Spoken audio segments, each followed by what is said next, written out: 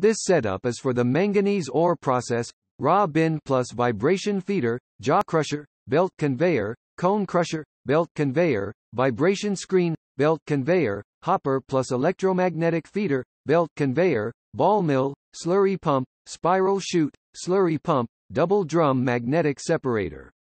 The raw bin plus vibration feeder for feeding materials to the jaw crusher automatically, you only need to load the materials to the raw bin by truck or excavator or else as you want.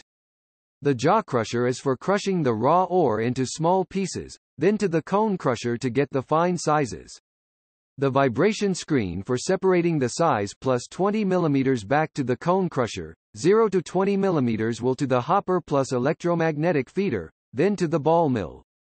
The ball mill is for grinding the 0 to 20 mm materials to 0 to 1 mm, then using the slurry pump to transport the 0 to 1 mm materials to the spiral chute to separate the heavy minerals. The double drum magnetic separator is for separating the manganese from other heavy minerals, making the manganese concentrate to a higher grade.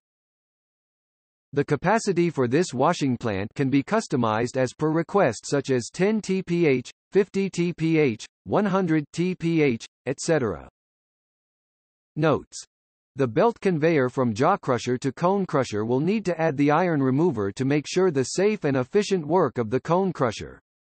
The spiral chute will normally make two phases. The concentrate from the first phase spiral chute will to the second phase to concentrate again, that will make sure a higher grade and also release the workload of the magnetic separator.